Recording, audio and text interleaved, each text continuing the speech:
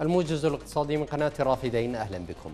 أعلنت كتل في البرلمان رفضها قرار البنك المركزي إصدار سندات للاقتراض الداخلي مشيرة إلى انتفاء الدواعي والمبررات لهذا القرار. وأوضحت أن القرار كان يمكن اعتماده عندما كان سعر بيع النفط دون 30 دولارا للبرميل.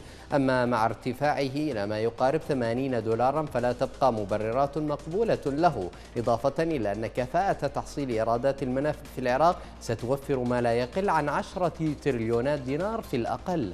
وأضافت الكتلة أن النفقات غير الضرورية وبالاعتماد على المصروفات الفعلية للسنوات الماضية تؤكد انتفاء الحاجة إلى تكبيل الدولة بالاقتراض الداخلي أو الخارجي.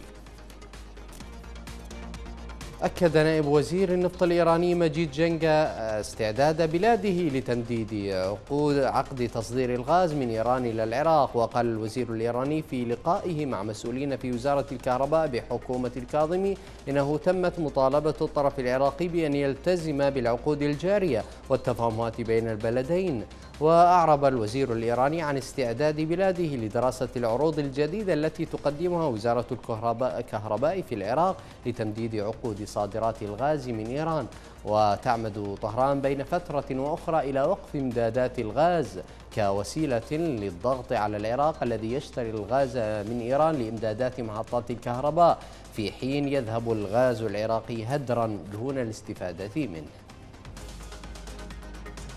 أعلنت وزارة التخطيط الحالية في العراق عن ارتفاع أعداد السيارات إلى أكثر من سبعة ملايين سيارة خلال عام 2020 وقال الجهاز المركزي للإحصاء التابع للوزارة إن العدد الإجمالي لسيارات القطاع الخاص بلغت سبعة ملايين وستة وعشرين ألف سيارة والمسجلة لغاية نهاية كانون الأول من عام 2020 بضمنها سيارات كردستان العراق والتي تشمل جميع اللوحات.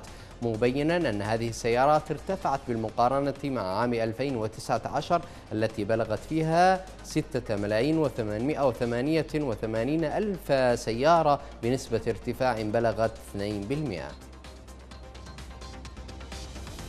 شهدت أسواق أسواق العراق تباينا في أسعار الدولار الأمريكي حيث ارتفع سعر صرف الدينار العراقي مقابل الدولار في بغداد بينما شهد انخفاضا في كردستان العراق وسجل الدولار في بورصة الكفاح والحرثية المركزية في بغداد 1471 دينارا عراقيا مقابل كل دولار واحد بينما سجلت أسواق أربيل 1474 دينارا للدولار الواحد.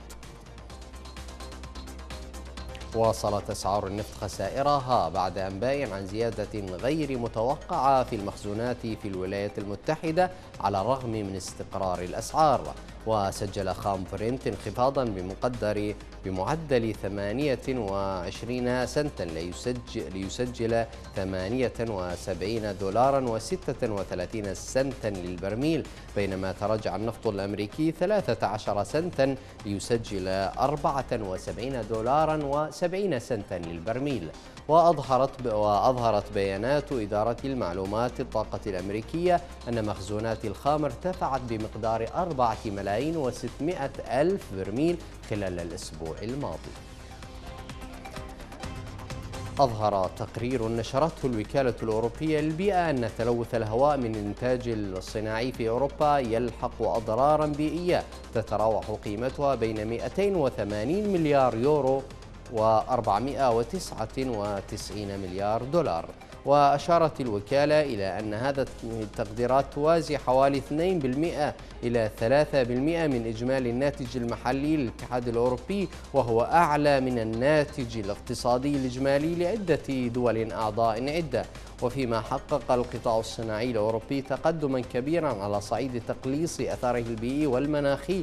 لا تزال التكاليف الاجتماعية والآثار الخارجية الناجمة عن تلوث الغلاف الجوي في القطاع مرتفعة. وتترجم هذه الأضرار من خلال أمراض ووفيات مبكرة وتدهور الأنظمة البيئية والموائل الطبيعية والمحاصيل الزراعية ما يترجم من خلال تكاليف اقتصادية. نهاية الموجز إلى اللقاء.